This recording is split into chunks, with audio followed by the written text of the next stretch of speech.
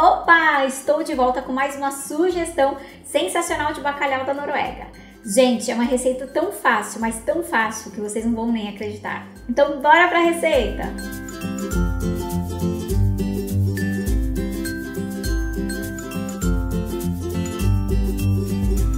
Oi, oi, pessoal! Mais uma receita especial para as festas de final de ano. E hoje o bacalhau ao forno vai ficar super aromático. Vamos lá para os ingredientes? Iremos utilizar 4 lombos de bacalhau da Noruega dessalgados, 8 dentes de alho, meia xícara de azeite de oliva, 3 quartos de xícara de arroz, meia xícara de lentilha, 150 gramas de couve de bruxelas, 150 gramas de cenoura baby, uma cebola picada, uma colher de chá de pimenta síria e sal, alecrim e pimenta em grão rosa a gosto. Vou deixar aqui na descrição o link dos vídeos com o passo a passo completo do dessalgue, como cortar, armazenar e cozinhar o bacalhau. Vou deixar também o link do Instagram do Bacalhau da Noruega. Lá tem muita informação. E antes de iniciar o preparo, é importante que saibam que após o dessalgue, o bacalhau rende até 30% a mais de volume, ou seja, ele ganha o volume que perdeu durante o processo de salga e secagem. Para ter certeza que está levando o autêntico bacalhau da Noruega para casa, é importante que procure sempre a etiqueta de origem do produto. Então, depois de tanta informação essencial, bora preparar a receita.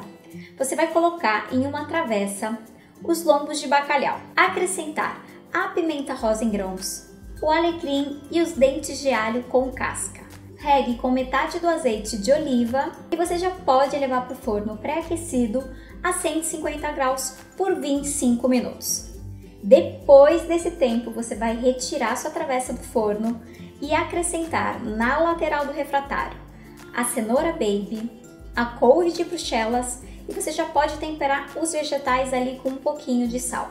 Aí você vai regar com mais um pouco de azeite de oliva Gente, é só reservar mais ou menos umas duas colheres de sopa que a gente vai utilizar para fazer o arroz com lentilhas, tá bom? E você já pode levar novamente ao forno a 150 graus por cerca de mais uns 20 minutos. E enquanto isso, Agora a gente já pode preparar o arroz com lentilhas que é bem rapidinho. Então é só você colocar as duas colheres de sopa de azeite de oliva que restaram e refogar a cebola. Em seguida você vai acrescentar a lentilha e duas xícaras e meia de água quente.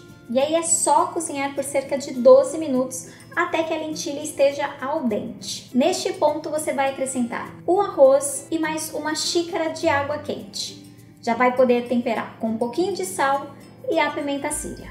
E aí é só deixar em fogo brando até a água secar e tudo estar cozido. Depois que ficar pronto, é só servir este prato super completo. Olha que incrível ficou essa receita! Gente, estas lascas lindas e esta textura você só encontra no autêntico bacalhau da Noruega. Se gostou dessa receita, aproveite, deixe o like. Se ainda não é inscrito no canal, já se inscreve e não deixe de ativar o sininho para não perder nenhuma novidade por aqui. Fico agora com a hora da maldade. Gente, olha esta lasca maravilhosa.